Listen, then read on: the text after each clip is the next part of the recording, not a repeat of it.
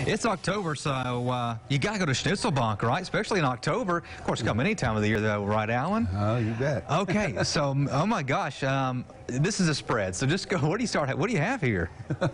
well, we got our, our uh, uh, German sampler platter. It's like, like Okay. appetizer deal there. We got the Reuben rolls. You got the little wieners. You got potato pancakes. We got a German pretzel, and then we got a pretzel buns here.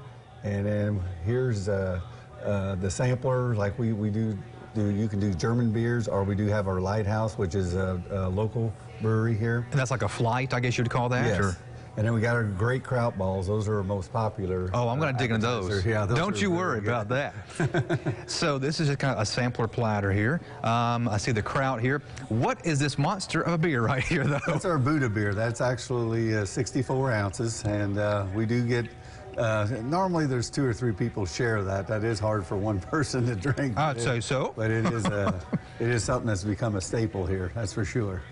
and this massive Yeah, pretzel this is here. Bavarian pretzel, and that uh, goes very good with cheese or hot mustard.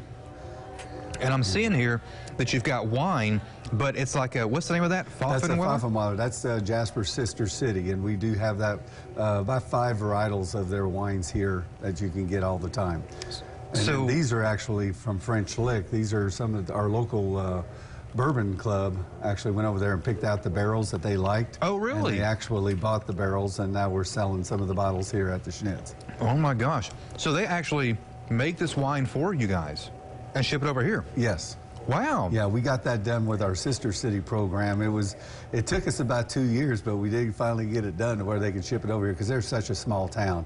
You know, Pfaffenweiler's only about 800 people, so you know to get that over here was a challenge, but we uh, we we got it done.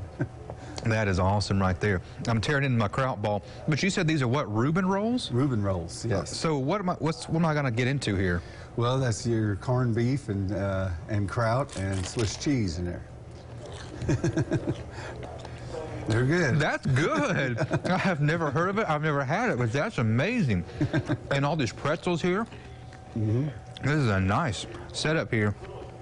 I've never had potato cake, so what, what's all that consist of there?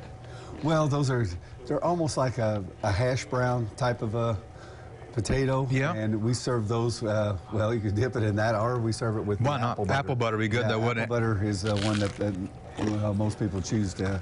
Oh, gosh. that. That would be better with apple butter. I agree. Not so much the, thou- the Thousand Island or the type of sauce there. Oh man, it's the Schnitzelbank. We're talking October, Oktoberfest. They're going to be doing something kind of special for it. We'll talk about it coming up soon.